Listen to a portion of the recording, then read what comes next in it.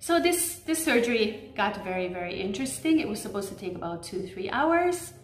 And 12 hours later, I'm still lying on the table. And my husband is going crazy, can't even imagine what's happening to me. So what was happening to me is that the silicone bag has ruptured. And I pray and I hope that it happened during the mammogram and not during the time when I was breastfeeding my son. Um, it ruptured and the silicone gel just migrated all over my body. And the reason I was on the table for 12 hours because he was trying to remove as much of this silicone as he possibly could. Can you imagine?